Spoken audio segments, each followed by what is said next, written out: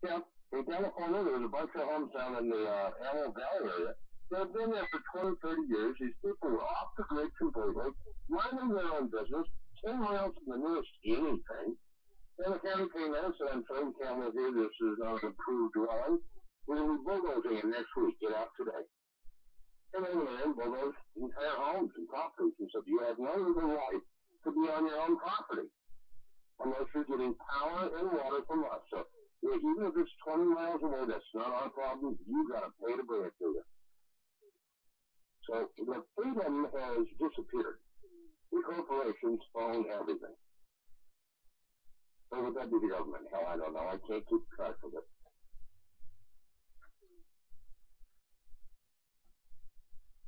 You Freedom. you are having a lot better effect overseas. You are doing more business overseas than you are doing in your own country right now. Is that is that accurate? In 35 years, I tried not to go overseas. Now we're going overseas, and we have more business happening in uh, Africa, India, China, Russia, and South America than we do the U.S. Yes. They all want clean air. They would all like to get better mileage.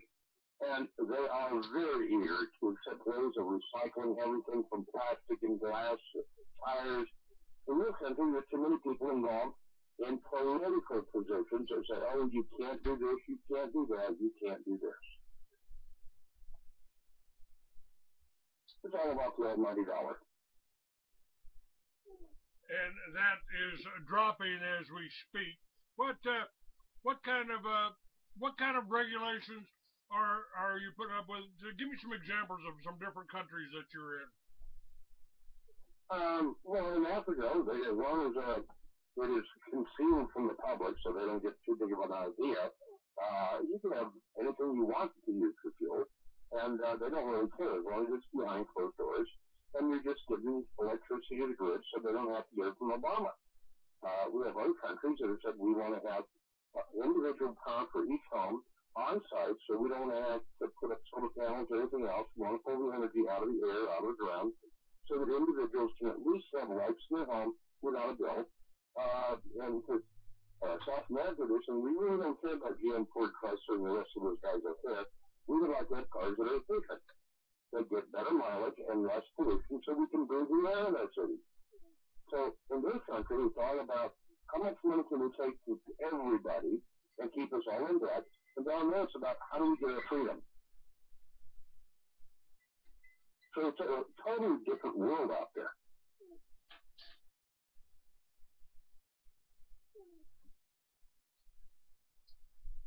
And of course, the New World Order is trying to make Africa just like America, just like uh, they want the McDonald's in there, they want everything just like they got it now. Yep. And if you buck the system, we're going to send people in to rough you up and take over. Now, I, I've got to ask you. You know, there's there are more Americans leaving America than at ever any other time in history. Yeah. Patri- good patriots like David Riddell or David Von Kleist or whatever they you want to call him. And I'm not sure what motivated it. Maybe it was being uh, living with uh, Joyce Riley, but uh, he expatriated to Argentina. And uh, I've been struggling for 36 years saying, no, I'm going to do it here, I'm going to do it here, I'm going to do it here. And at this point, I can see that trying to market in this country, unless you're willing to work with the corporations and let them run and own you, uh, it's very difficult to get anything ever off the ground. So it might make more sense if I just had a passport to go to another country and market it and eventually start getting product in here. Uh, I probably have more students uh, students here have dropped to a very low level. I mean, I, I'm lucky here in this country now we get two or three students a month from the U.S. Most of them are coming from foreign countries. even my uh, my friend uh, Dr. Jake Wade, who started Timothy Bible College and the Little Red Schoolhouse, he's got more business in Africa than he's got here. Yep. The uh,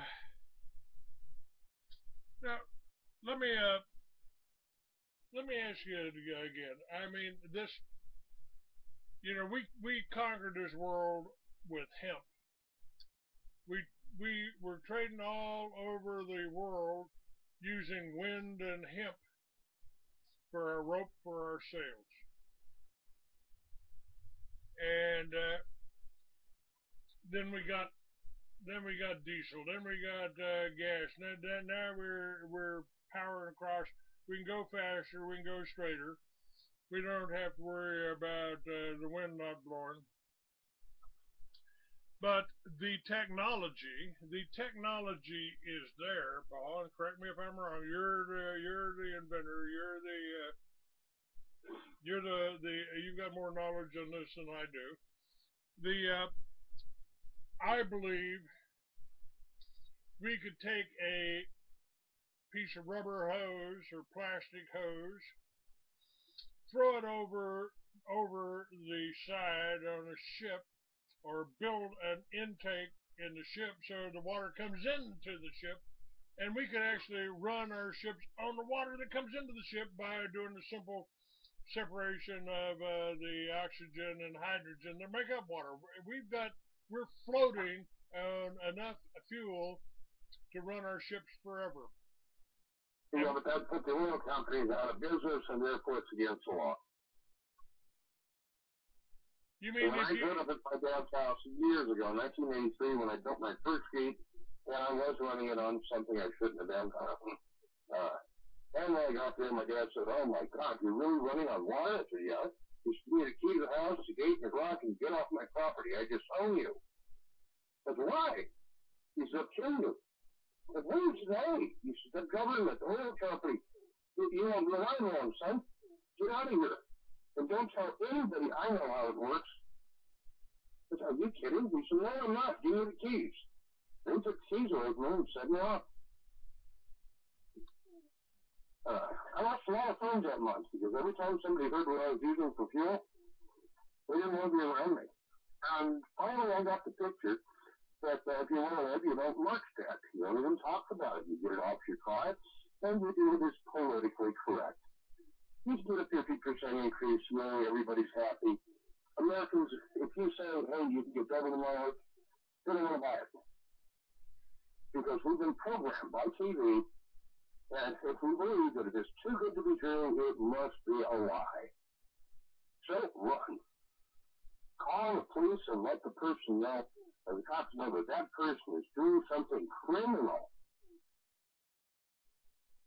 so your best bet is come in with a 20, 30 percent increase for everybody a week from your wallet. Then write an IOU and hand you the money, which is another IOU. And you take your money and walk off. But if you tell them you're going to get more than that, you're in trouble. They don't want to spend their money. Programming. That's what it's all about. Well, you know, that's what I've been telling people about the uh, television for years when I started the militias in New Mexico. I said, you know, best thing you can do is take your weapon out, clean it, load it, shoot the TV, and you'll be a lot better off. well, I don't know. Have you ever seen a movie with Steven Seagal? Who was up there in that Indian outfit, the coat with the fringe on it, saying, "Someday we're gonna have power, cars with no pollution. We're gonna have this and this." It goes on for about five minutes with all the Indians. Right after I saw that, I called his producer up and said, hey, if, if Steven Seagal really feels that way, would he like to cover a story by somebody who can do that today? He said, no, that'd be politically incorrect. Uh, we're, we're really not into that. We're into making money. I said, you wouldn't really want to see that stuff happen? No. Oh, okay. Well, Woody Harrelson, William Shatner, a bunch of movie stars all met in Hollywood one day so we could see the engine run. And as a thing was the number of complaints of, oh, they'll just shut me down. I'll do smog control if there's no pollution. Yeah, I don't have any money. The other guy saying this, well, well, if there's no pollution, I'd have to shut down all my oxygen bars. They were more interested in keeping the pollution than getting rid of it. Well, you've just described the whole medical industry. I mean, they don't make any money off of you if you're well.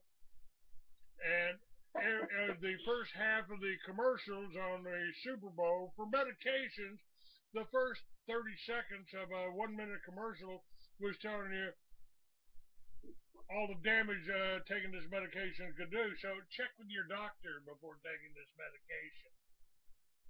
Well, well, they, they hope that's good enough to get them clear so they don't get sued, but they really can't now. We've got good attorneys, a lot of money. Uh, I had a doctor in my house one day come to school so he could learn how to build GEET for his own cars. When he looked over at my counter, he said, "Do you take those two cars sitting there, you know, over the counter, and any kid can buy it? ID isn't even required. You just put it on the counter and pay for it." I said, "No, those aren't mine. Those belong to my ex-wife." She just didn't take them with her. He said, oh, if you ever mix those, you're as good as dead. I said, you're kidding. He said, oh, why? I said, because every time she comes over, she has a headache, she takes both of them. He said, haven't you ever looked at the fine, fine print on the bottom? I got a big magnifying glass on, and I'm reading them, and it said, consult your physician, so I look in the PDR, and sure as heck it says, do not mix these two products. Can cause death. Well, Well, the, it says on the label not to be taken more than twice a month. In such small print, nobody. I'm sure if you handed that to a hundred thousand people, you might find one that actually read that part on the label. you know, this almost this. I just watched a little clip here. Thirty, I guess it was a thirty-minute clip from an old Twilight Zone, and you know, this is a, this is what this whole conversation sounds like to me. Yeah. We've been, uh, it's like we've been, uh, we've been in a parallel universe or something for the last fifty years, hundred Yeah. years. It's uh,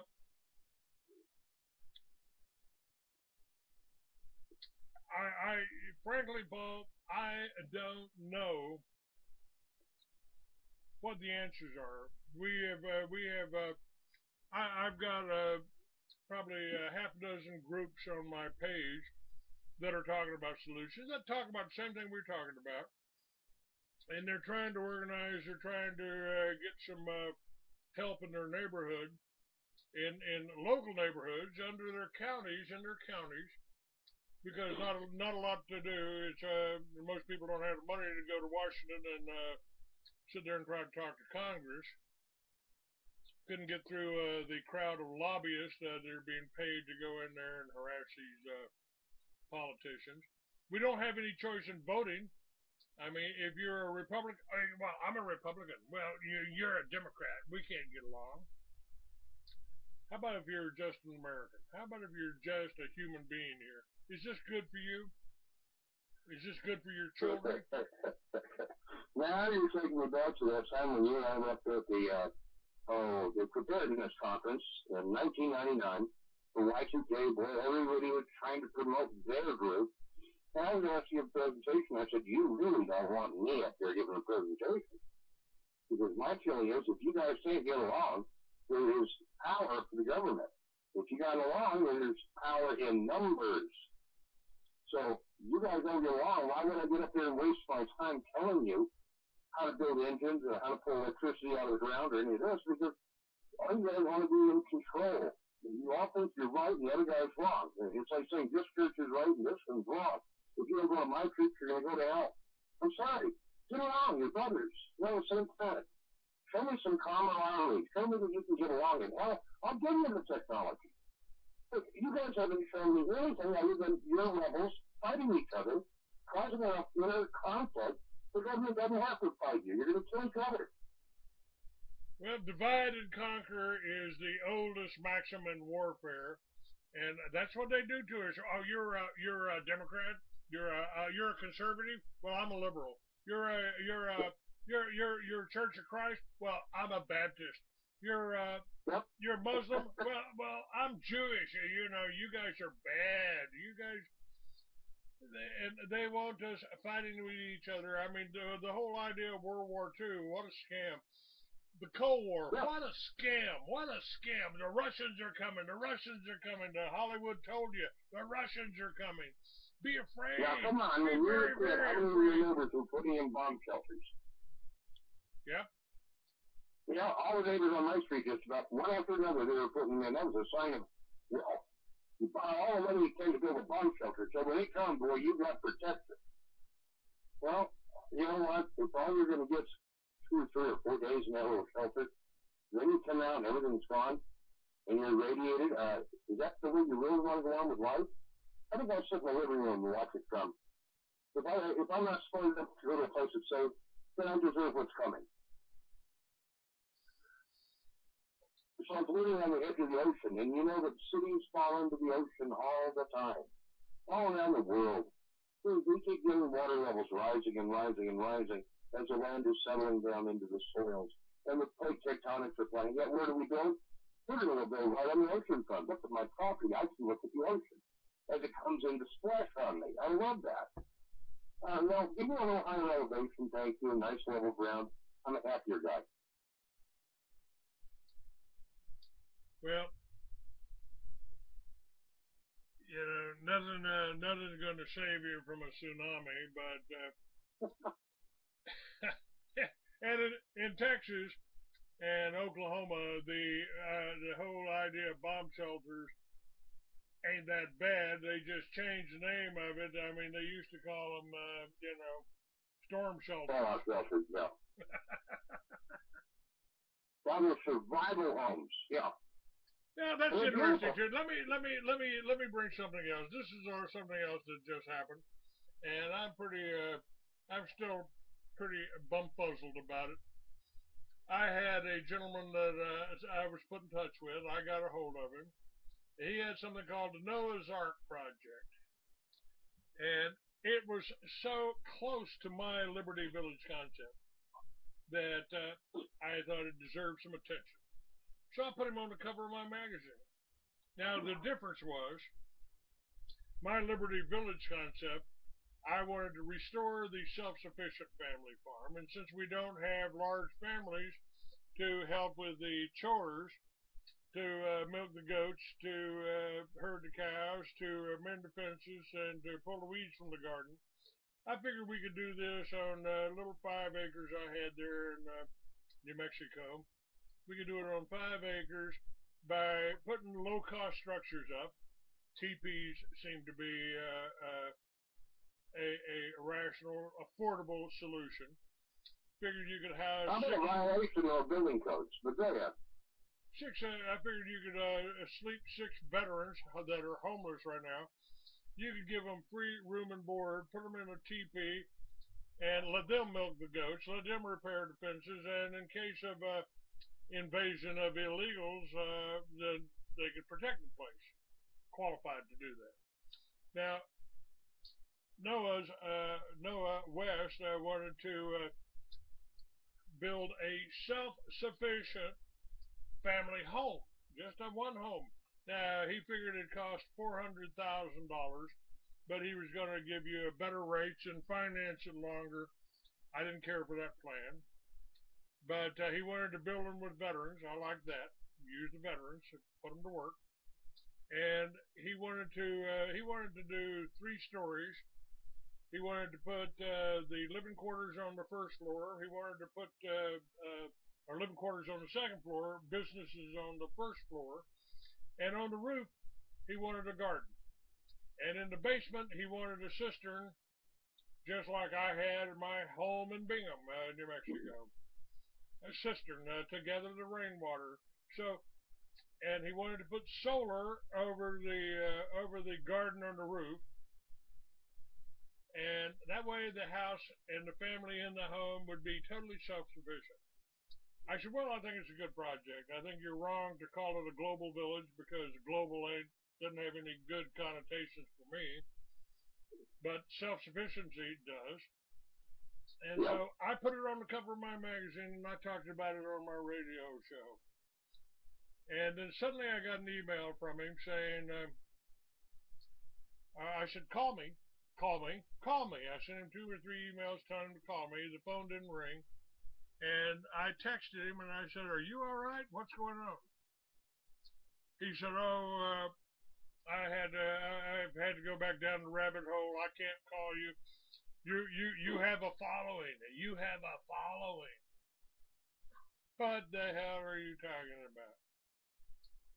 You want me to take uh, off all of the information, all the links I have to your site about your super homes? He wanted to build them out of concrete. He wanted them to be uh, hurricane proof. He wanted them to be tornado proof. Thought that was a good idea. And uh, you, they're just too powerful, Clay. I can't talk to you. Well, I'm not taking the. I, I'm leaving the links up on my site to yours, but I will put an addendum on here that I no longer support you because you're nothing but a friggin' coward. You're nothing but a coward. You know, if you uh, uh, you, you want to advertise, you want to do this, I don't believe you're capable of handling the money. I don't believe you're capable of putting this together. So you don't have my backing anymore, but I'll let people see what you got. I won't take the links off of uh, my site as you requested. I won't do that. I'm a reporter. Now, because he hasn't talked to me, because he won't call me, because he won't have this conversation that we're having right now with me, I don't know what the hell happened here. I was was he being threatened? for working with me? Were they afraid I was going to make some money off of it, or was uh, the the the way they work? You know, well, Clay's selling that book to make uh, to, to to raise money for a snitch named Huevos. Sorry, don't know any snitch named Huevos. Don't raise money for nobody but me. I will tell you about the GEET system. I will tell you about Paul Pantone because you deserve the publicity. You deserve to be known. You deserve, and, and people need what you've got to offer. But you don't you don't have to send me any money for advertising to get that. I mean, to me, it's it's uh, what we should all be doing is working together. You can build a GEET device. I can't. And I can't use your GEET device on the Harley because I'd lose my scent. Oh, you gotta have that sound, yeah. we, we had a few people do that, and they called back going, well, it's better mileage, and I don't think I'm getting any pollution, but it doesn't sound like a Harley. No, you lose a lot of the sound, so that's part of the sacrifice if you want clean air and better mileage. Well, I still maybe maybe I could live with it sounding like a BMW. I don't Sounds more like a sewing machine. but uh, now, why would somebody do that? You you you build a website because you want publicity. Do you care who said? Uh, yeah, go uh, go see what uh, Noah's Ark project's about. Go go go check that out. Oh, Clay Douglas told you check that out. Oh, I can't. You can't. We can't deal with you because Clay told you. There are a lot of reporters out there and little groups uh, like your own uh, that will not cover the truth. And that's what really bothers me, because they only want that big scoop, the big story that they can they can be the ones to present it so they can put that feather in their cap. And then we call that reporter up and say, hey, that technology doesn't work. Oh, I don't care. Oh, I think reporters should care, just like you said. I'm not going to support this, but I am going to leave the link there because people need to know it. But on some of the things, when I told the reporters, hey, the products you're covering on your cover of your magazine and in your article are BS. They don't work. I've tested them. Well, I don't care. But in the meantime, all these investors and other people that see these BS ads invest their hard-earned money into things that don't work. And do they ever come back and say, hey, we did some testing and found out it doesn't work? No. They only put the article in there because they were getting money, and they were getting paid to cover the guy. Well, that's kind of what's happened with all the other patriot radio stations out there. They are being uh, supported by people selling this, selling that, selling filters, selling this, selling that. And uh, if you say anything bad about Israel, if you say anything about the uh, Jewish-owned banking system, suddenly they don't Yeah. advertise with you no more. So nobody, everybody tiptoes around it. Everybody tiptoes around it. And you know, I, Paul, I, I, I try to tell people the Constitution, the Bill of Rights, the First Amendment protects you. So if you want to hug a tree, go right ahead. Maybe I'll loan you my tweezers pull those splinters out. If you want to bang your head against that wailing wall, knock yourself out, Jew boy, but I ain't going to do that. I ain't gonna. Yeah, I'll watch you, but I ain't gonna do it. And you want to get down on your hands and knees, stick your nose in the dirt and your ass up in the air. If I happen to be around you, I'll try to keep the Saint Bernard oh. off of you. And if you're a Christian and you want to pray to God for Cadillac, I'll put in a good word with him so maybe he won't drop it on top of your dumb ass. The it's it's the rights of the individual. You got the right to be what you are, do what you want. The same thing about the gay rights. I don't care what you do in uh, in your bedroom with, and I don't care who you do it with. But don't come and try to get me to do it. Don't try to seduce my children. Don't try to, you know, when when ADL ran armed and ran me and armed and dangerous, tried to paint me as armed and dangerous. I said, well, you know, you asshole finally got something right. I am armed. You mess with my family or my country, I'm definitely dangerous. But again, this is the divide and conquer. You don't believe like I believe, so, so. Why can't Yeah. they? Why can't they? Why can't people just accept that we're all different? Tell me, tell me your thing. Tell me why you uh, you're like taking the ass. Tell me why. Maybe, maybe, uh, maybe then I, I, maybe I might be interested, but I doubt it.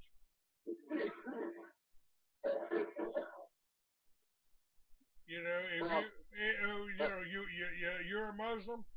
Why? What do you believe? I mean, come on. If if we all believe, if all the religions believe in uh, one God, do you really think He gives a shit what you whether you call Him Allah or Yahweh? No. Am I just being Yeah, radical? Got- Am I too radical? I Paul? I can help answer part of that question. It's all about greed.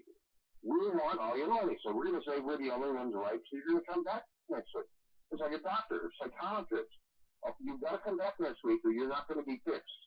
You're never going to be fixed. Until he's ready to retire, then he's going to say, okay, now you're fixed, or he's going to sell you to the next psychiatrist.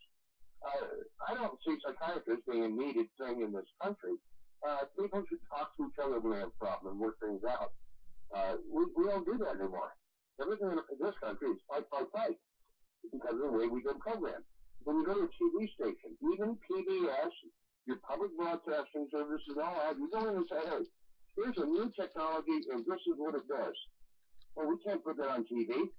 Our sponsors are Ford and Chrysler and all these big foundations that give us money.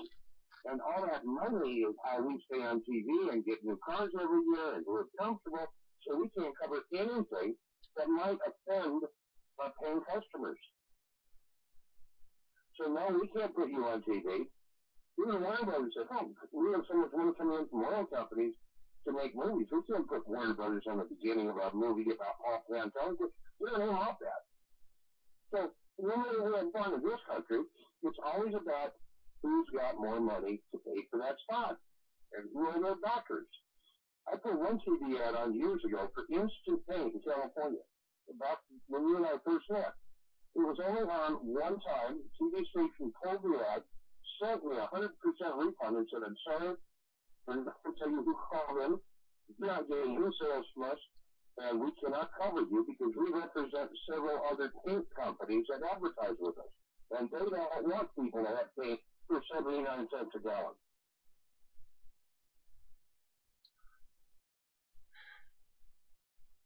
You know, I wrote books 45 years ago. Science fiction. I was uh, I was kind of into science fiction. And I wrote uh, a fiction about uh, United States in the future when they had abolished all laws against victimless crimes, and they closed down most of the prisons around uh, around the uh, states, all except for states that kept it the same way they are today. All the Christians moved to there so they'd be protected from the drug dealers and the rest of the states were open like Colorado is now. You can go into a store and buy whatever you want. It's uh, it was so radical that they no publisher would take that. No publisher would buy that from me. No publisher would publicize me for that. And yet today, you know, in uh, in Texas, you get caught with a joint, you go to jail, you go to you you pay a fine, four or five hundred dollar fine for having a piece of a plant in your pocket. In Colorado now, you can fill up your pocket with it and nobody will bother you. So I was a little ahead of my time. I was a little ahead of my time. Yep. And, you know, today in 20 states, uh, if you go bribe a doctor, if you, uh, you know, it's kind of like going to Al Capone and saying, Al, I, I need to stay in business here, so here, I'll pay this extortion money to you, so you'll leave me alone, so I can stay in business. I mean, that's a, uh, why would I, why should I have to pay a doctor for something God gave me? so the whole medical marijuana thing is just a scam too. It's a way for the doctors, for the pharmaceutical companies to keep their hand in. I found out I was excited in Arizona when they passed medical marijuana. I said, "Wow, maybe uh, for the first time in 45 years I won't be a criminal." But guess what? Couldn't get medical marijuana because I wasn't sick enough to need a doctor. I said, well, you, you idiots, uh, the reason I'm not sick is because I've been smoking it for 45 years. so, this, uh, and, and today you can actually uh, get rated for having a tomato plant in your front yard. Oh yeah. Oh, you would want to commit a crime like that? Come on. Might entice people to want to eat healthy food. We don't want that. We want you to buy the crap you get at the grocery store. Rats won't eat GMO modified foods. Oh, if they get hungry enough to Now,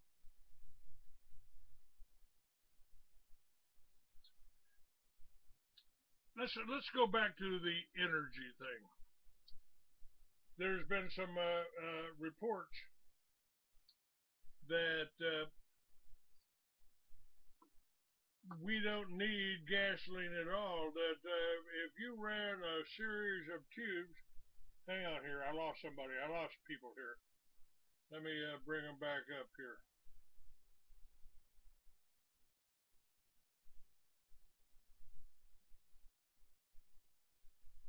It was too good for too long here. Let me bring it all back up.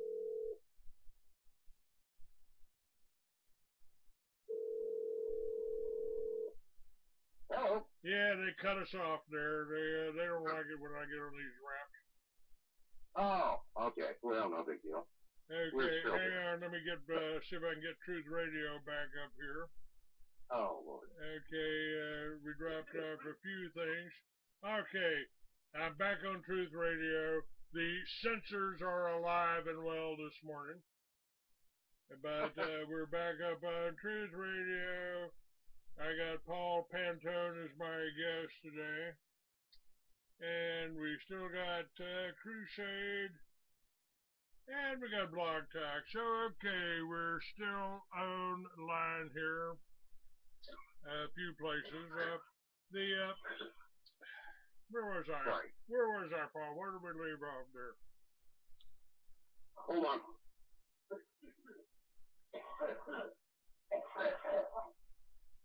Sorry about that. Uh, we were talking about doctors and attorneys, uh, which is funny.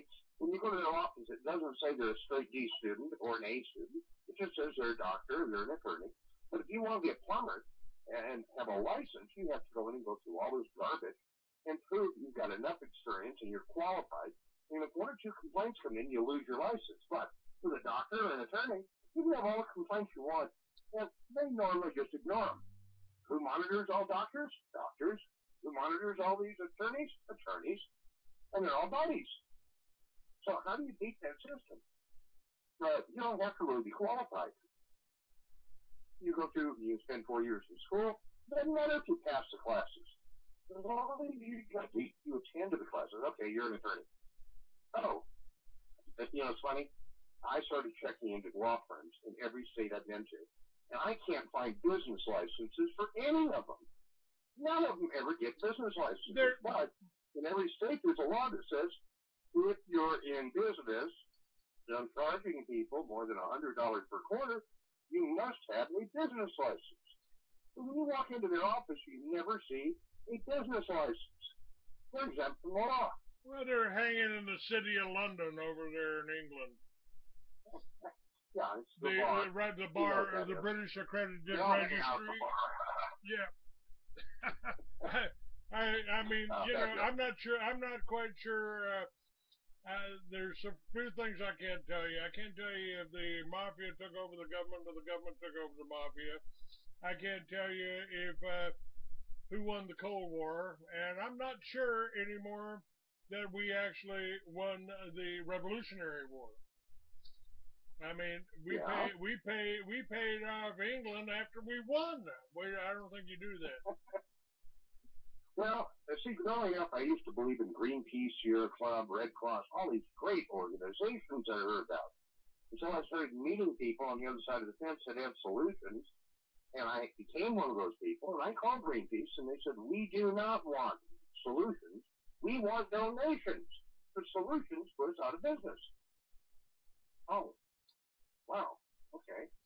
And being a 501c3 means we can take all the money we want, you get to write it off your taxes, we're helping to empty your wallet while we get to buy new cars, furs, and send kids to college. So go ahead, starve, send us that last dollar. We really need it. Now, Uh, I remember I what I, I, I remember now what I wanted to talk to you about. Solutions. I wanted to restore, as Richard Kelly Hoskins said in his books, some of his books and his writings, that the foundation of every civilization was the self-sufficient family farm. yep. Now, I had five acres in New Mexico. I figured I could house 20 people there. I could turn it into an RV Yep. park, let 20 people live there in the RV park. I could put up 10 teepees and rent them out every night.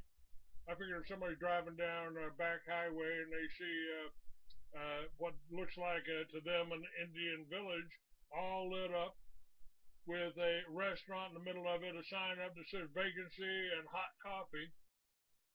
I figured I could I could make a living off of that. I figured I could do that. Now,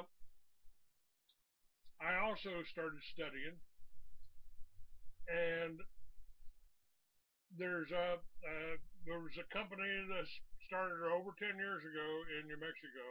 I've heard more about them recently, and you could put tubing, plastic tubing, around the perimeter of your of your five acres. I could have done it on five acres. And by running water through it, by running water through it, and putting algae in it, you could generate enough biomass a lot faster than growing corn. You don't have to make ethanol. Hold on. that mainstream media won't tell you. Are you frustrated with your elected politicians? Get the news behind the news at truthradio.com. At Truth Radio, you can listen live or listen to a large selection of archived programs on demand. Listen when you want to. Truthradio.com. The truth is out there. All you have to do is open your mind and listen. All right. Open your mind and listen. And folks, by the way, the Free American is what is a place that you can get the straightest information, the most information, the most useful information, and truth. I'm broadcasting on Truth Radio. I'm broadcasting on Blog Talk. I'm broadcasting on Crusade. I'm broadcasting on well, a number of other ones too. TalkStream Live. I'm on there. So, uh, see a couple others too here. Just uh, put up on some new ones. Just got up on some new ones here, and uh, that would be um, where is it here? Oh yeah, the uh, we got a couple other things up there you need to see. The Kannaway, that's the uh, a way you can uh, product. Uh, it's called Kannaway. It's a hip lifestyle company with a focus on nutritional wellness. I told you that hemp's kept me alive and kept me in good shape for a long time. And this is the way you can get it. It's legal in 50 states. Can't get high out of it, but hey, maybe that time is still yet to come. Any rate, uh, my guest today is Paul Pantone, and the putting plastic tubing around your property, running water through it, pump the water through it with a solar pump, and you put algae in it. The algae grows faster than anything else on the planet, just about. And all you got to do is siphon that algae up and turn it into fuel. You can turn it into fuel. You can turn it into diesel fuel.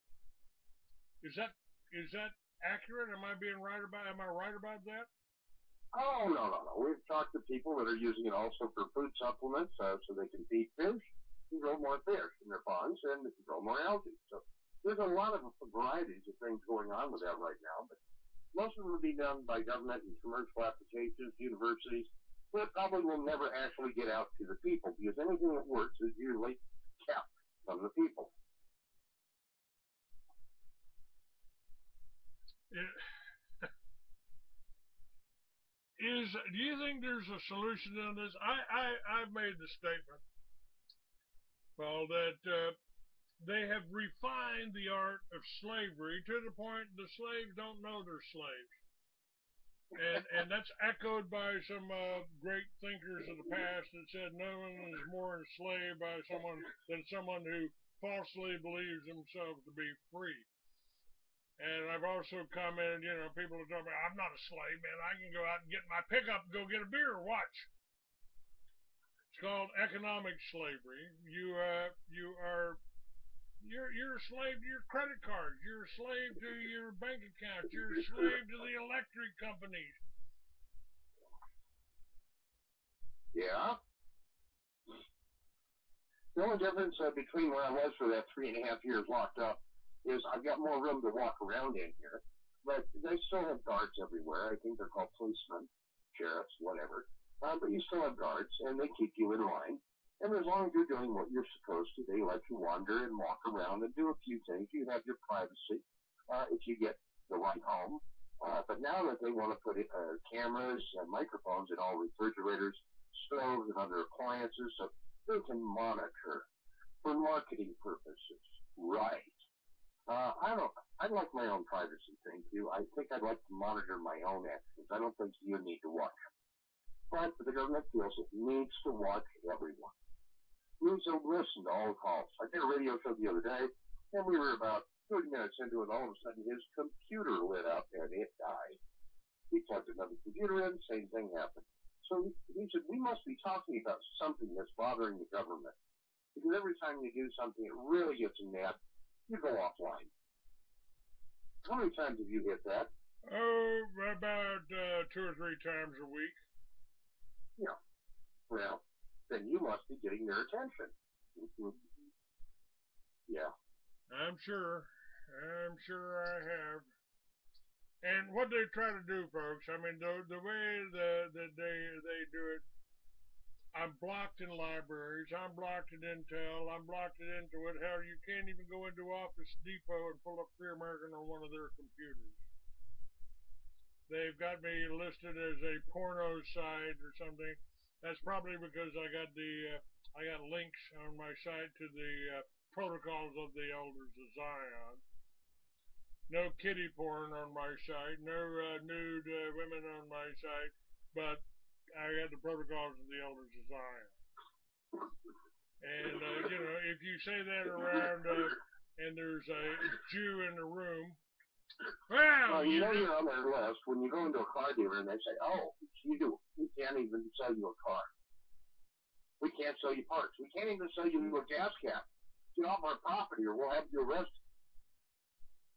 where's that? Who's that? Who's done that? Who's that happened? I'm sorry about that. That's I have right. what is called uh, valley fever.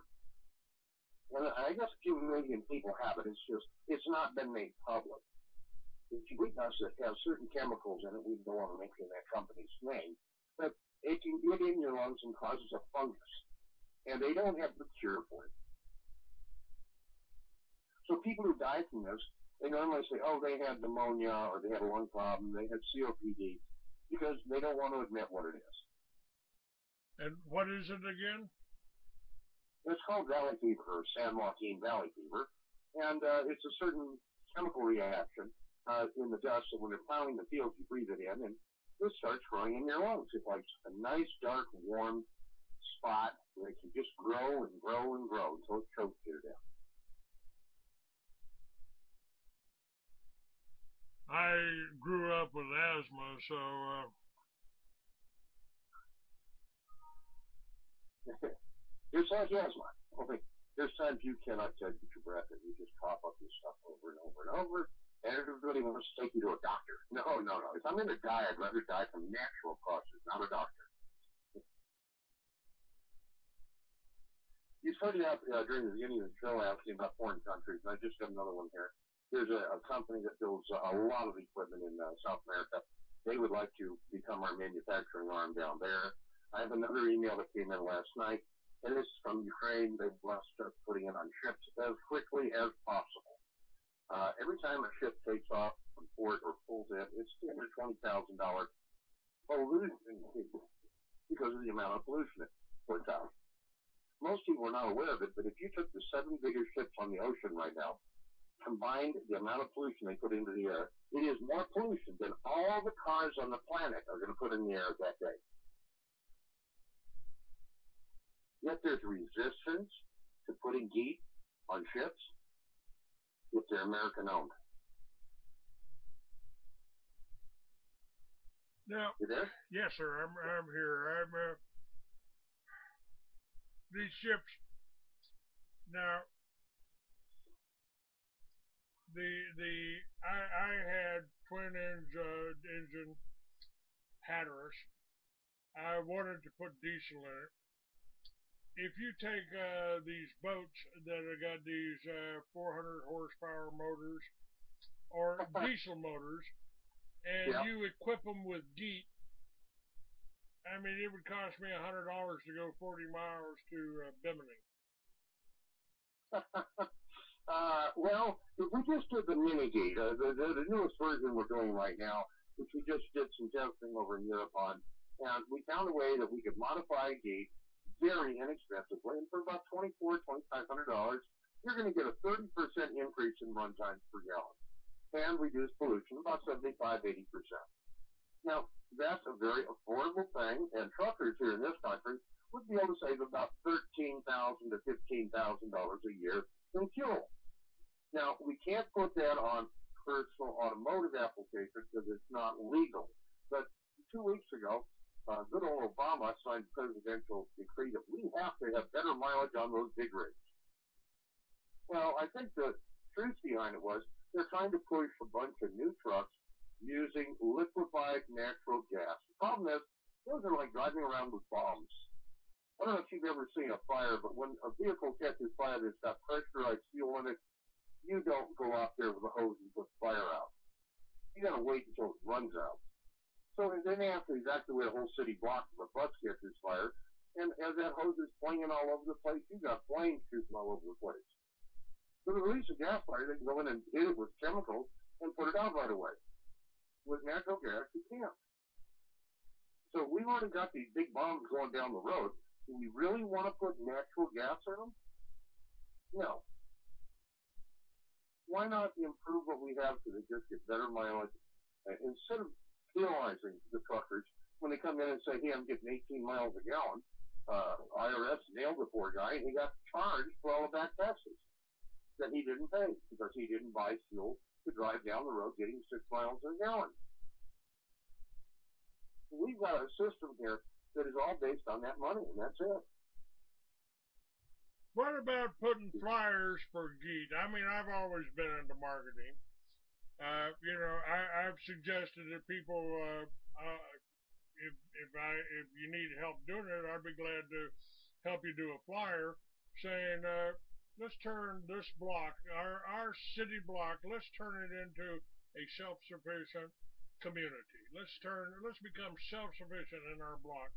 Let's put solar on the roof. Let's put a GEET generator in the garage. Let's uh, let's uh, grow food, not grass, in the backyard. Well, I like the idea, but to me, I feel like I'm fighting that windmill and playing Don Quixote because I'd be better off going far enough out away from a city where the land has no value, and then build a city well, uh, that you- sufficient, pull the- water out of the air, pull electricity out of the air, and enjoy life comfortable with no bills.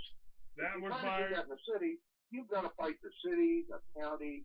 Everybody's going to want to get their piece of that action. They want you to look at their sewer system, their power line, their water. They want to take that money out of your wallet every month. But if they're in an area far enough out, which I thought was possible, then you could build a self-sufficient home until they come in and say, "Oh, it's now against the law."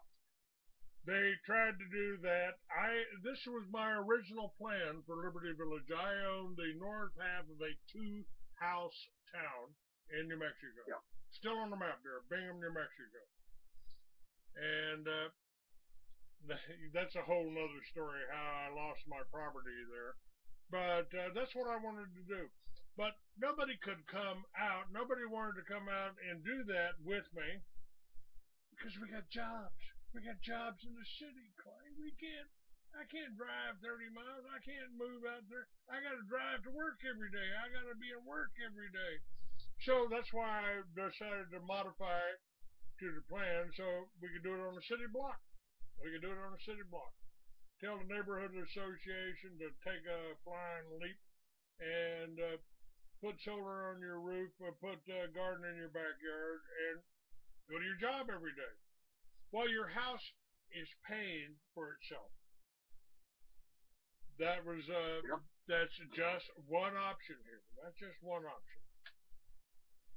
But uh, the again the the whole concept, the original concept of if if you uh, if you move all of your if your neighbors want to move, if you can make a living off of uh, the internet, like many of us do, then you can live anywhere.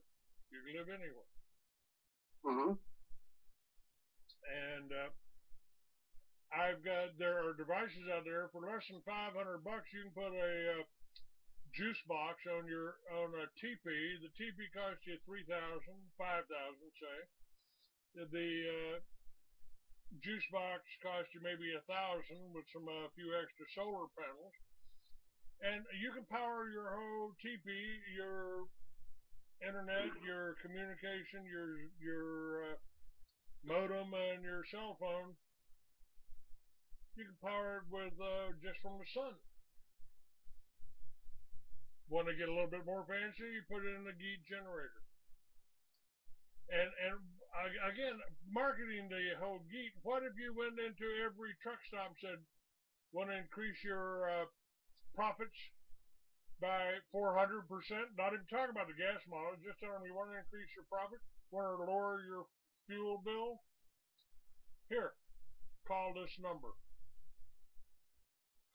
Well, we approached uh, oil companies, and years ago I discussed it with Dr. Kavanaugh, who was president and CEO of uh, Texaco. And when I told him, I said, we could come in right now and retrofit every gas station in the United States uh, with a GEET unit so that we could produce more power than that store needs, so the gas station convenience store, quote, needs. just off what you vent into the atmosphere. And you could give the rest of the power back to the utility grid, and you'd be making an extra twelve, fifteen, eighteen hundred dollars a month per gas station. He said, we're not interested. We'd rather sell you all the gas stations. All we want to do is make money. The only way we make money is trucking fuel to you. So we don't make the money off the gas. We make the money off the trucking. But we don't want free power. And we don't want to clean up the atmosphere. Well, how do you fight? We don't want to do it. Uh, we've got so many of these groups that say we're going to Washington, we're going to do this, we're going to do that. Well, Washington expects that to happen. It's good PR. Even bad publicity is good publicity if you know how to use it to your benefit. So then let all these people march across the country and do all these things to keep diversion away from what's really happening in the White House. And everybody's paying attention to the truckers or the bikers or this group or that group, and nothing usually gets done except the satisfaction that you participated. Well, I remember that satisfaction because when I was a young kid, 19 years old, I was out helping Greenpeace picket. But if you'd have told me back then that all they gave a damn about was donations, not solutions, I wouldn't have wasted my time. I didn't get paid to picket. I did that because I wanted to. I believed I was changing something. Uh, what really changed me over there was, what was it, 1993? Uh, I was in Marin County, and the people in that county voted. Almost 90% of them said they did not want a jail built in front of the Frank Lloyd Wright building because they wanted to build a safe and freeway. And the city commissioners all got together and said, "We don't give a damn what you voted for. We're in charge here. Get the picture? We're building that jail where we want it." And and built it. And everybody, even though they voted and said we don't want it there, they put their tail between their legs and walked off going, "Oh, okay." We're a bunch of sheep. We don't stand up and fight them. We don't file injunctions and throw them into court. And the court system's a joke. I mean, it used to be when I was growing up and I was younger, you got a ticket, you wanted to fight it, you went to court, told the judge you want to fight it. The next hearing, the, the guy your, that gave you the ticket's going to be there, judge is going to hear it, and you might get a $10, $20 fine, maybe even a $100 fine. Now, I don't care what they say. The cops will sit there and lie through their teeth. You can have 20 witnesses, and they'll say, I didn't do it. Okay, he's an officer of the court, so we're taking his word for it. We're going to set a preliminary hearing, then this hearing, then this hearing, then this hearing. And you're going to end up going to 50 cases because they know sooner or later you're going to want to give in and just pay a fine. They always try to cut you a deal, especially when they know they're wrong. But if they drag it on long enough, you get so frustrated. Okay, here's your thousand dollars. I'll take the plea. Well, they can wear us into the ground because they have all the money in the world. Us. Is there really a reason for cases where people have been injured, they're losing their homes, their families, and the attorneys want to drag it into court against the insurance companies for five or ten years? so the damages will be higher, so I earn more money. I'm sorry. Let's get these cases in the court and out of the court as quickly as possible. Don't let the attorney talk. Ask the person, do you want to get this settled right now? And in most cases, the people go, yes. Well, you're right about that. I, first of all, I don't generally speaking, I don't hire attorneys because I'm certainly mentally competent. And uh, I got sued. Uh, I got sued. Uh, somebody tried to keep me from writing a story. I set up a company for somebody in Las Vegas, and somebody uh, they sued me to keep me from putting them out of business. And so Yep. I countersued. I countersued. Showed up in court and I went by the the court uh, opened up and uh, I walked up and behind the bar there and I'm standing next to this uh, another guy in a suit. I was in a suit. And he looks over at me and says, Oh, are you Mr. Douglas' attorney? I said, No, I'm Mr. Douglas. Your Honor, Your Honor, uh, uh, this is the defendant. Can't, uh, uh, can't you make him hire an attorney? And the judge looked at me and I said, Your Honor, if you'll read my uh, brief there, my countersuit, I believe you'll see that I'm perfectly capable of defending myself. And I'd, I'd love to be able to hire an attorney, but these people owe me money. I can't afford an attorney. Don't think I need one. And uh, the judge just looked at the other attorney and goes up. No, I can't make him hire an attorney. and they settled they settled out of court that day for about fifteen thousand dollars, and that's how Yep. I started the Free American. I called up the uh, one of the stockholders in the company that I'd set up and said, "Hey, you know, I was in court today. That cost you about five hundred bucks. Didn't cost me anything, and I can do this every day." Or you could settle today for uh, fifteen thousand.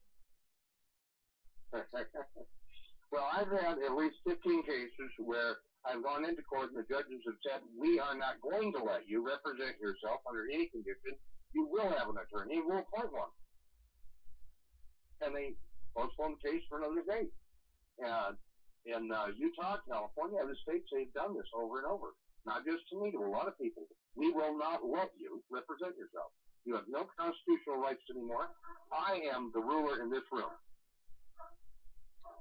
That's what they say. Don't bring harder. Constitution in my courtroom. Don't bring. Uh, we got that. mil- We're under military occupation. Everybody says uh, is worried about martial law. I'm sorry, folks. Yeah. You've been under martial law for about the last 90 years.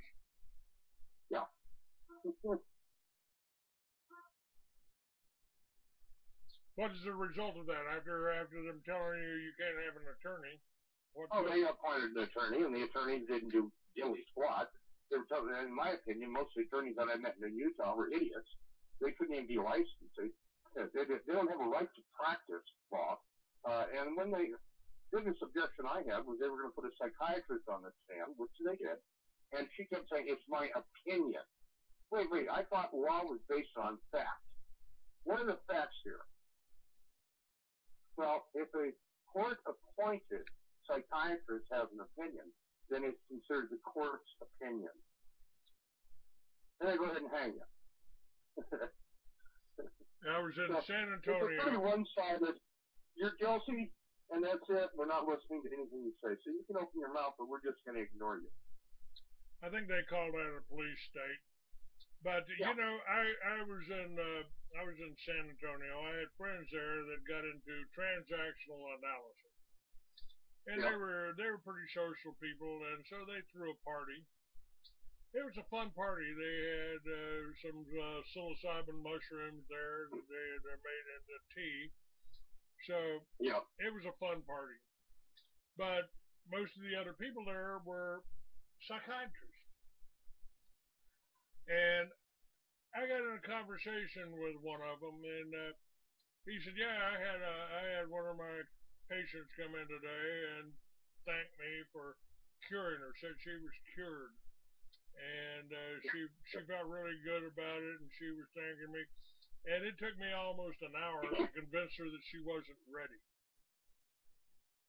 And I said, so you could keep taking money from her, huh?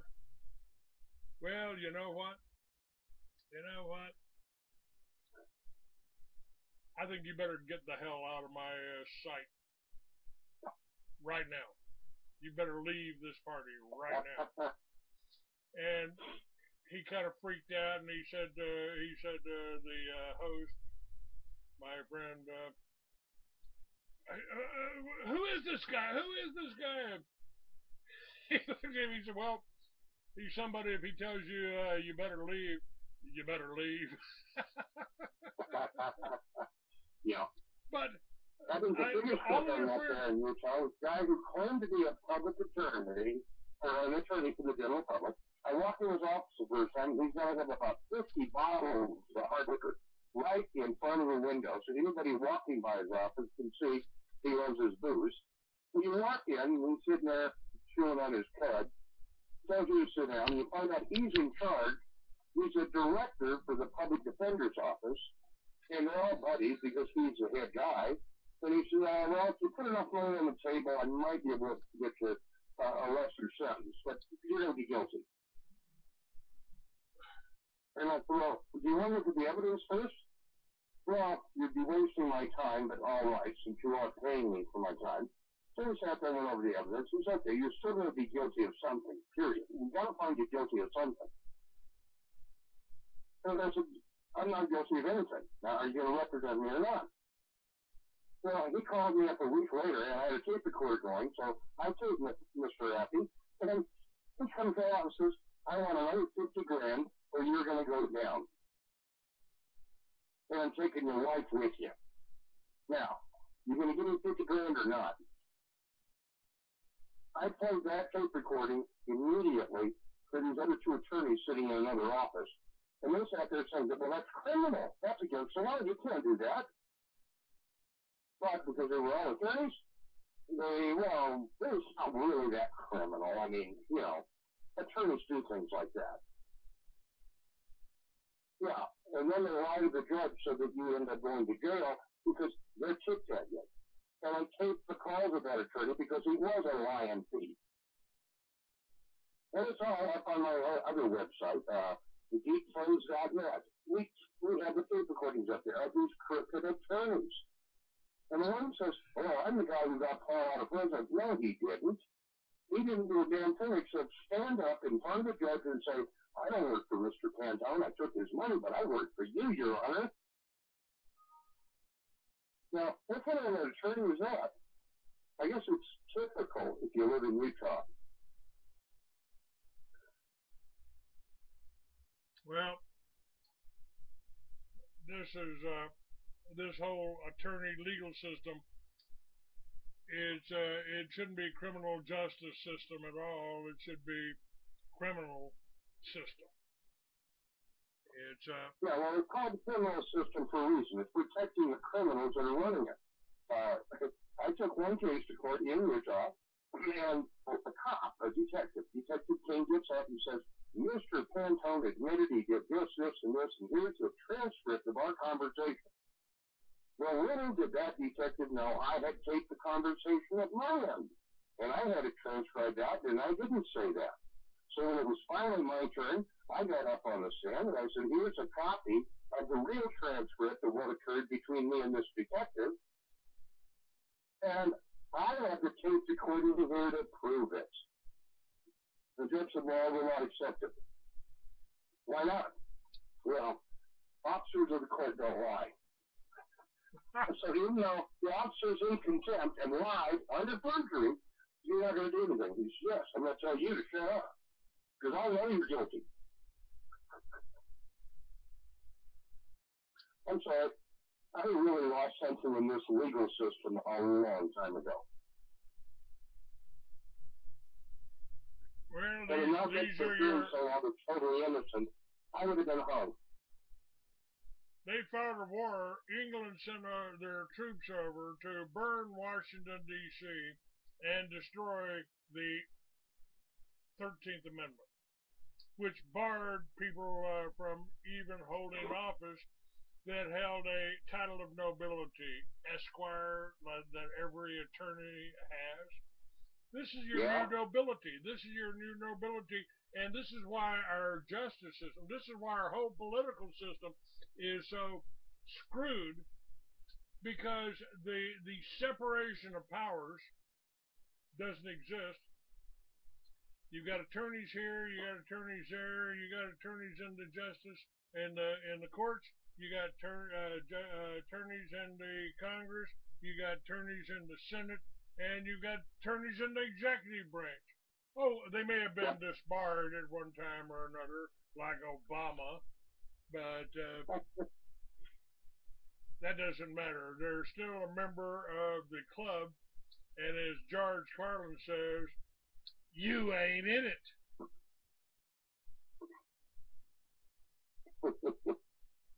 yeah. Now, again, Paul, the the answers here. You've got the answers. You built these things. You, we know that you could do this. You could uh, you could run that. Uh, you could be. Uh, I'm on a on a probably a 10 acre RV park here. If you had 10 acres of plastic tubing, and uh, you don't even have to run it around the thing. You can uh, you can do it vertically and uh, and take up less room. As long as the sun can shine on it, you can grow your algae. You can you can create your own fuel. And uh, you know, uh, I, I did want to talk to you a little bit about your marketing campaign. I mean, you you tell people that you could run uh, you can run your uh, automobile off of Mountain Dew by No, using no, GEET no, no. I got a demo engine, which is an educational engine, running on Mountain Dew, soda pop, tea, whatever you want, that's fine. But we also tell them it would be against the law in the United States, Canada, and Europe to run a car on anything other than the prescribed fuel from the government and the factory. We don't want to get anybody in trouble. Yeah, but uh, you know the the point is the Mountain Dew costs more than the gasoline. yeah, two cents a gallon is about what it costs to make. All the rest of the money they make, they put into sports to keep you entertained, so you're not paying attention to what's happening in the White House. Well, how about all of these inventors that were running their cars on uh, on uh, water? Uh, Good, gentleman, yeah, gentleman in Florida, of course, they killed him. yeah. They murdered him, and and Stan Meyers. Yeah, Stan. Meyers. He had signs on his vehicle uh, that it was running on water, and uh, they killed him.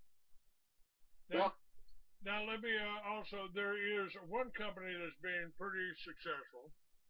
Again, they're overpriced, but that's Tesla Motors. yeah, And Tesla Motors is running off of electricity. These are electric cars. Now, a hundred years ago, we had electric cars that were setting land speed records that were uh, doing wonderful things, and oil companies got involved and shut those down. But today, yeah. today, if you build an electric car now, oh, the the the drawbacks. Let's talk about the drawbacks for just a second. Well, the Well, uh, if you talk to Roy Taylor, who's uh, about 80 years old, I think, and he had a bunch of electric cars, and he said that you could build an electric car that would probably go coast to coast, but the government would not allow it. They don't want you to go more than about 200 miles and be hooked to a cord, so you have to be able to stop and recharge. As long as we can do that, or have drop-off points where you pull in and they pull your batteries out and slide new ones in, and you keep going. Every 200 miles, they're going to nail you. Uh, Shell did a study and said it costs more money to run an electric car per mile uh, than it does a gas engine because of the amount of energy it takes to make the electricity, the amount of energy that's lost getting it to you, and then by the time you charge, you're off gassing the batteries, and when the motors run, they put out a different kind of pollution. So you're actually putting out more pollution using an electric car than you would a gas car. And that's using conventional technology. But if you use a gas car compared to a GEET, and we've had exa- examples on smog test where we've had clear air coming out the tailpipe and there was in the room. So what? Pollution's only there because it's big money for oil companies and political people. Uh, we don't need it. But they don't want that technology out to mankind. Okay, there there is a very simple answer to this recharging the battery, and the, it's I I've been talking about this and thinking about this for a lot of years, but recently somebody came out with a wheel. You bolt the wheel onto your electric car, and the wheel, as it turns, generates enough power to recharge your batteries. Yeah, well, there was a car company uh, that was working on a startup out of Canada, and I don't think they're ever going to get to the marketplace, but there was one called the ZENN, and they buried that one in a hurry. And then another one just popped up about a month ago, and all four wheels are generators. When the vehicle is moving, it is producing 80% of the power it needs for recharging, so that it can go almost five times further than any other electric car. The problem is it's too efficient.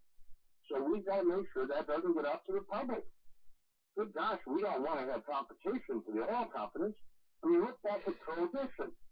That scared the dickens out of the oil companies that their farmers were growing crops and corn and stuff. They were turning into fuel and running their tractors and not buying gasoline or diesel. And that was hurting their industry. So what do you do? You ban all alcohol. And so you can get total control of all the spirits so nobody can make their own fuel now, and you have to play the political game. And now it's all like to drink again. Sounds like marijuana. Oh well, never mind. Uh, yeah, you got to, so you found a way of controlling it and taxing it. Then go ahead and release it so you can still make all that money. Then they couldn't control the farmers still not wanting to do it, so they started paying the farmers not to grow crops. Now that works. If you're going to pay the farmer not to grow the crop, then they can't make fuel. Take away the desire. This whole thing to uh, hemp, I mean, Henry Ford built a car out of hemp. You could hit it with a sledgehammer. So that would put the uh, body shops out of it. The little ding don't cost you hundreds of bucks no more. And uh, you got uh, I I don't know. It's just uh, we've had the technology for a hundred years, at least, to answer all of these so-called problems we got. But uh, you're not allowed to have it. You're not allowed to know that. You're not allowed to see that, and they control the media, so it just keeps on. The the media keeps turning its head. They uh, you're just not allowed to be successful. You're not allowed to be independent. You're not allowed to be self sufficient. You're not allowed to be healthy. This is insanity to me. Well, I think I'd rather pay a health tax and a water tax. Allow me to use water for fuel so that we can remove the need for all those big refineries and all that pollution and, and just tax me by the mile. I'd be happy with that. I'm not trying to burn the government out of its so needed money for those inadequate roads they've been building for 100 years. I'd like to see them nice roads that actually last. The government doesn't want to do things that work and that last. Because that doesn't generate more and more money. We've got to bring the public for every penny we can. Keep them in we could probably run the country on what Obama spends on a vacation, uh, especially if he takes his dog. Oh, yes. well, we had a guy here the other day, he spent five days here from a foreign country, and he said uh, as a student in uh, grade school or high school, uh, he had to do a report on America. And he came up with a solution. And I sat here laughing while he was telling me about it because, God, I thought he was saying the exact things when I was about 12, 13 years old. Give the people on welfare jobs, taking food, doing things that we don't have labor force for.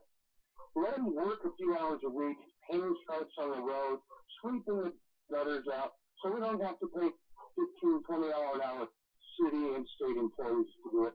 Let's hire these people, give them an opportunity. And if they're work it, let them answer phones. Let them do things they can do so they can feel useful in society. And we wrote this whole thing out we got a, a deal on it. Teachers said it's impossible, it'll never work, because people get a free ride want a free ride. So the more people you put on welfare, the more votes you're getting. Because you're the guy encouraging them to stay there and not have to work. And generation after generation, we have people that want to stay on welfare. Now, I'm, I'm not saying everybody on welfare is doing this intentionally. They're not. They're trapped into it. We had one guy in California when I first met you. He wanted to work for me. And I said, well, what would it take to get you off welfare? He had eight kids. These are the benefits he gets. By the time we were done, I'd have to pay him $25 an hour to equal what he was getting. The guy has no experience with anything. And I guarantee you, he ain't going to get experience with anything because nobody's going to hire a beginner at 25 bucks an hour. So the guy's getting free rent, uh, his utilities are being subsidized, he gets a check each month, gets food food each month, and medical, just the medicine alone, wrapped him from $12 an hour to 25 So how can you compete with a government that is so generous with your money? and these these are medical bills. Uh, these uh, some pharmaceutical companies. You're on Medicaid, you're basically paying for everybody's medicine, and uh, whether they need it or not, the the medical companies, the pharmaceutical companies, are getting you to the taxpayers to buy all of this medicine that people don't need. Yep.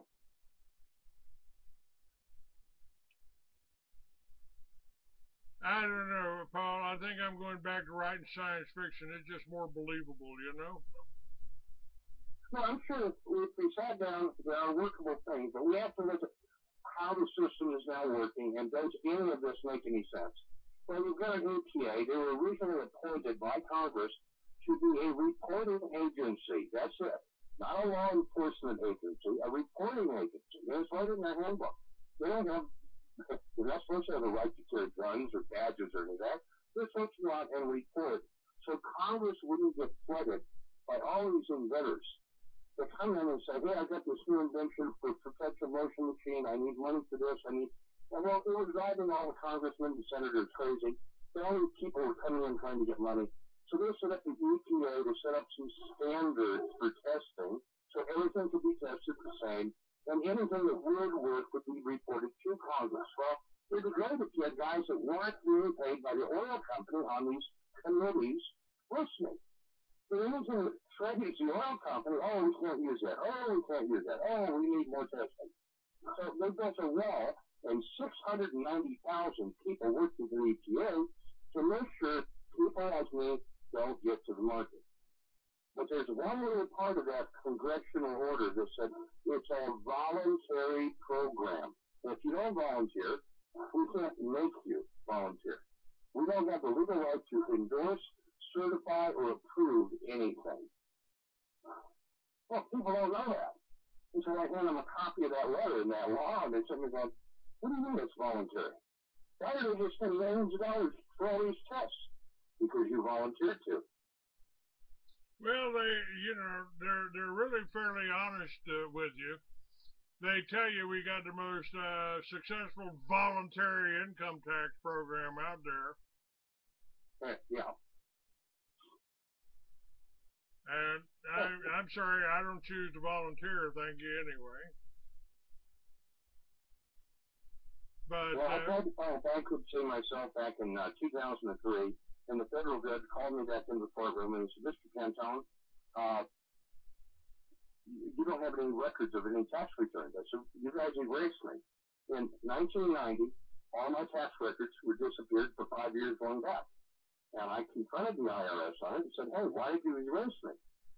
And they said, well, uh, there's been a, a notice put up about you that we can't let you succeed. So if we just erase you, you come in and seize everything you own but I had proof I filed. Well, it doesn't matter how many times you file now because we're not accepting your paperwork. You're closing garbage. So I'm going to take action? No, you can't file. We're not going to let you. so because of that, the judge said I can't let you go bankrupt. Only people who pay taxes can go bankrupt. Oh, okay. So the case was dismissed, thrown out of court, and I couldn't go bankrupt. But I can't pay taxes.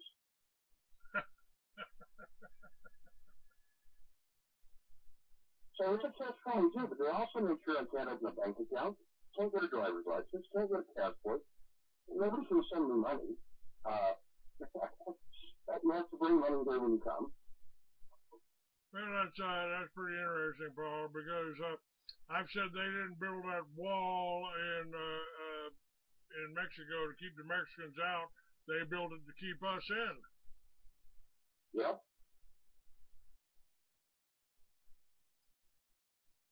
Where do we go from here, Paul? I mean, you know, you you you more than anybody else understands exactly what we're facing. We're we're facing a criminal system here, and uh,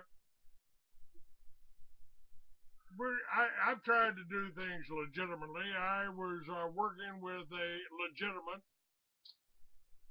Rhodes Scholar presidential candidate I believe you got to meet Charles Collins. Charles Collins, yes. He yes. died last uh, year or so ago, two years ago maybe. Oh Lord. I was hoping to see him at least one more time. He had some secrets he wanted to talk to me about. that were private meetings between him and Hitler when he was a little kid.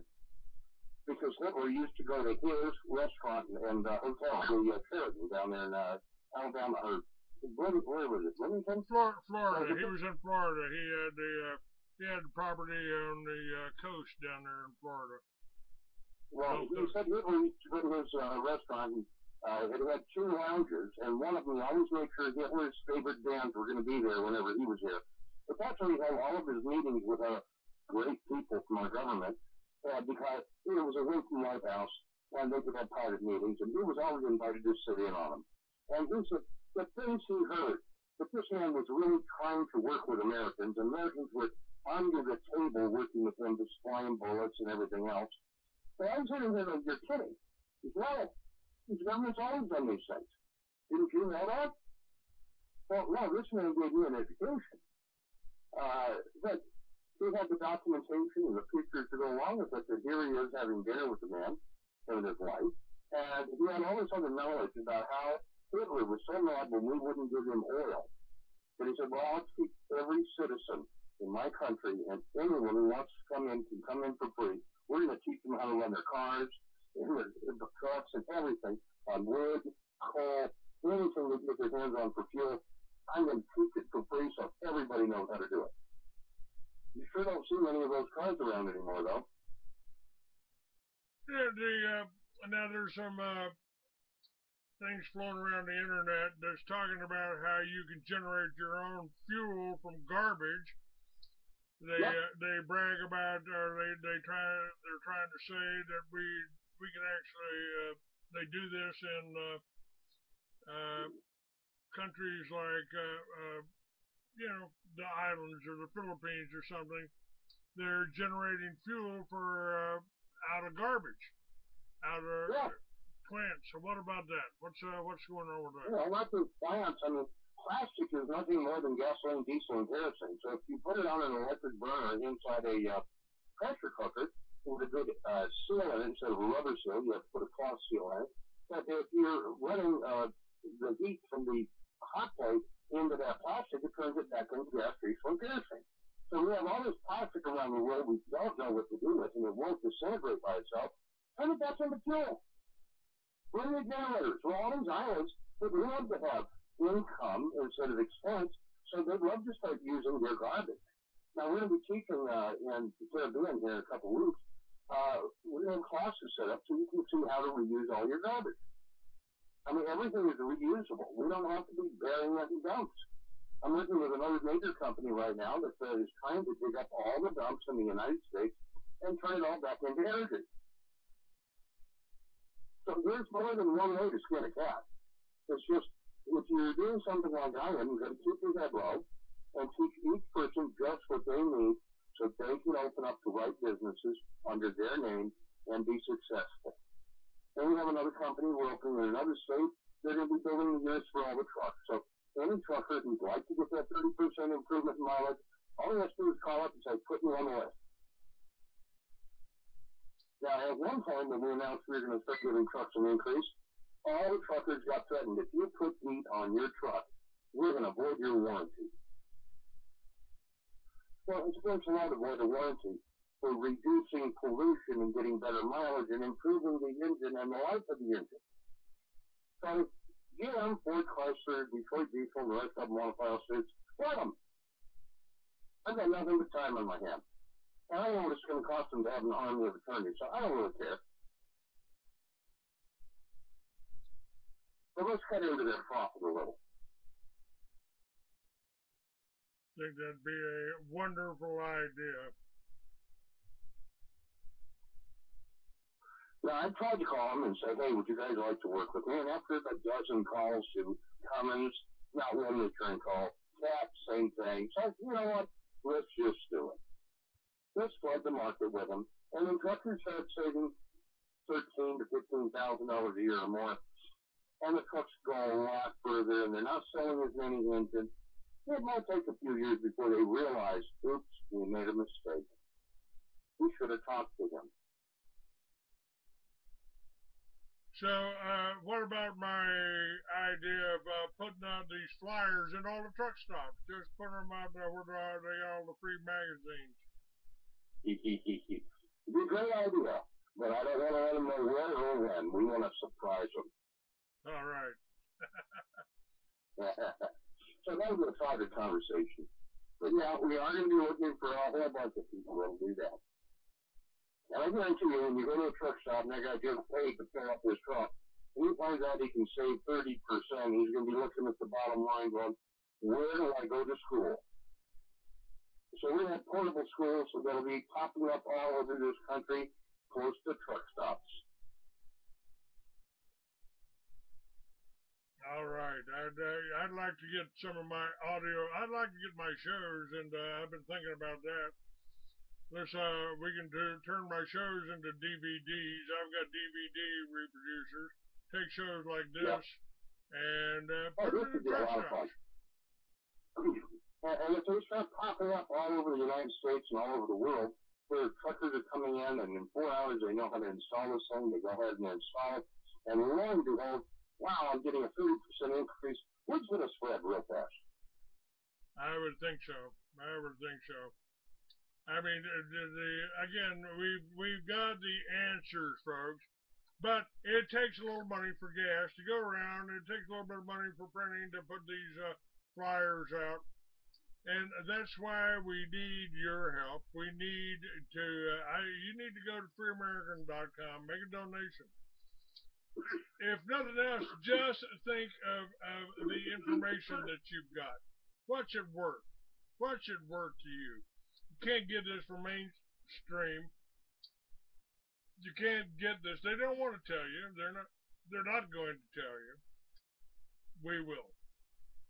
And Paul's. Uh, if you right now the Free Americans being offered for free all you got to do is go to Free American. I've got the first 11 issues available up online, up on freeamerican.com right now.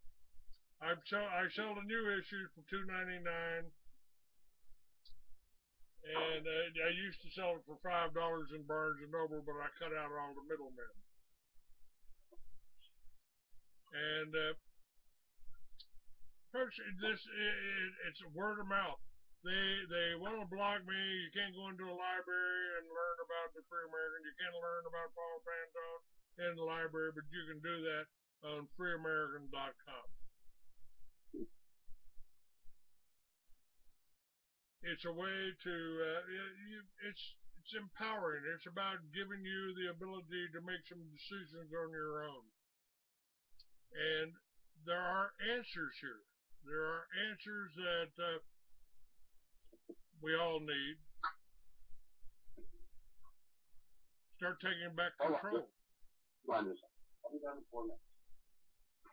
Okay, go ahead. Actually, you got seven minutes, and uh, uh, once you use that, I've told everybody where they can go, freeamerican.com. The links, the links to uh, Geet International is right there on the uh, on the site, on my site, and on this show today share this with some people. Start telling people about it. You know, the the whole demonization thing that they've tried to do to me is to keep you from listening to this show, to keep you from becoming educated, to keep you from becoming uh, self-sufficient, independent. That makes me their greatest uh, threat. I'm their greatest threat people like because I have people like Paul Pantone that give you the correct information.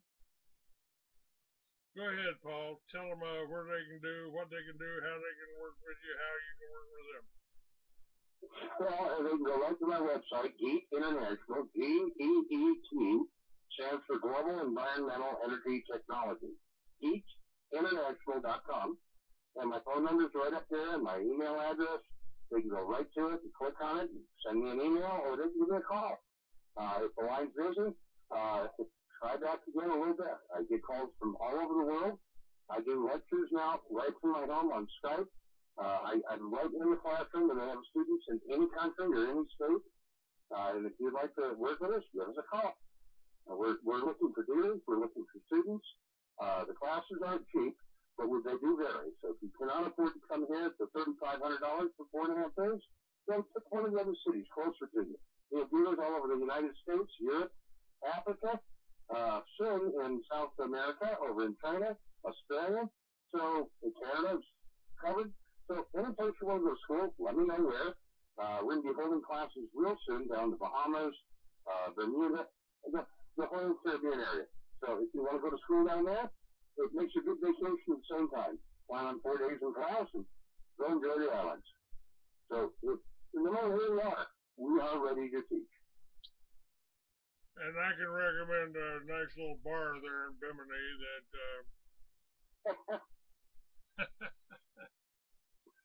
uh, okay.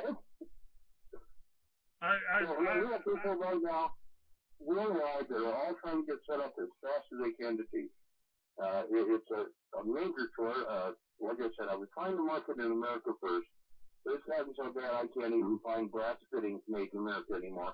Uh, when you go to the store and everything says made in Korea, made in China, uh, and it's 39 cents. You want one made in America? It's $89. The only company making them now only sells to the military but they will sell them to you at the same price. Well, I'm sorry. If it's a 39 cent part, it should be a 39 cent part. Maybe a dollar, but when you're that high, no. Only the government can afford to waste that kind of money. All right. Keep me informed. We'll have you back on in a very short time. You got it. All right. Paul Pantone, thank you for being with me. You got it. We're God out, bless. We're out of time. God Till bless next you. time. Bye bye now. Bye bye. All right. Let's see where we got here. Okay.